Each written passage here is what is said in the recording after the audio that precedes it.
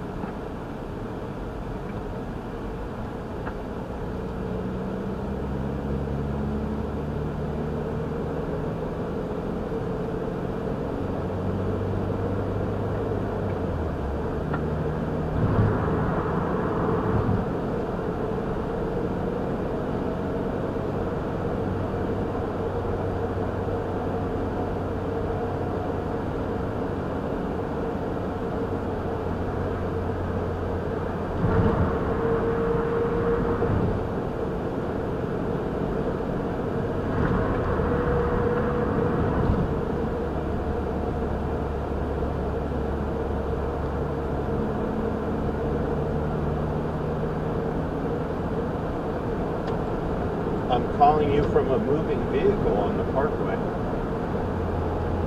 Anywho, I need to get some shingles. I gotta figure out how to get the shingles into the Subaru.